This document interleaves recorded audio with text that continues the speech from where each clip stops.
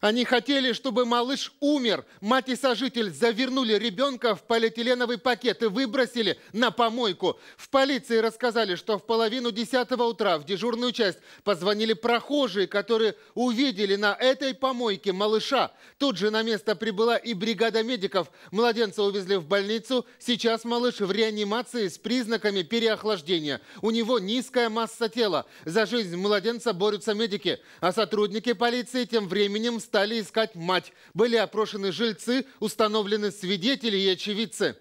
В ходе проведения дальнейших мероприятий в течение 30 минут с момента поступления сообщения полицейскими установлены родители ребенка, не имеющие определенного места жительства. Собранные материалы направлены в следственные органы Следственного управления Следственного комитета России по Челябинской области.